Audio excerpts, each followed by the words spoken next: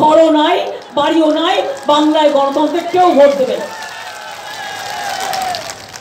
কি আমার young generation বিয়াল্লিশে বিয়াল্লিশটা হবে এবার?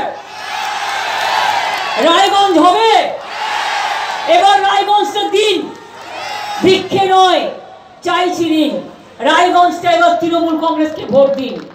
আমি কালিয়াগঞ্জ হেমদাবাদ ইটাহার, ডালখোলা থেকে শুরু করে আমি করণদিঘি থেকে শুরু করে, আমি গোয়ালপুকুর থেকে শুরু করে, আমি কাকু চাকুরিয়া থেকে শুরু করে, সবাইকে বলব, এবারে ভোটটা তৃণমূল কংগ্রেসকে দিন।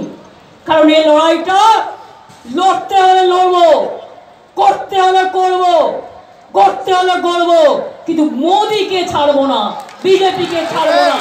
এই লড়াই, এটা আমাদের বাঁচা মরার লড়াই। এই লড়াইয়ে সবাই মিলে শপথ নিন। মোদিবাবুকে বদলে দিন। দিল্লি সরকারটা পাল্টে দিন। বদলে দিন বদলে দিন। জগাই মাধাই বিদায়কে বিদায় দিন। বিজেপিকে বিদায় দিন। আর ভারতবর্ষ বাংলা পথ দেখাবে।